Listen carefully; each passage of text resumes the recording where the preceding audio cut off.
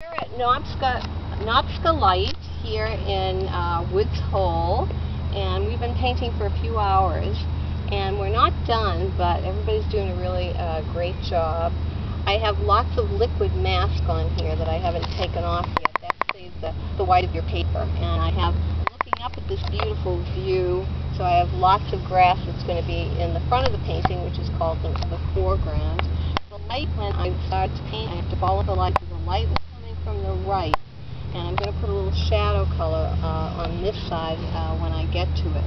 I'm going to work the front, the foreground, wet on wet, so I'm going to use my big brush and uh, get some washes going here. But everybody's doing a really lovely job. Here's uh, painting and all different views here.